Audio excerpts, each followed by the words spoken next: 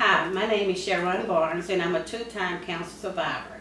I hope you come out on April the 25th and join us on Relay for Life. I hope to see you there.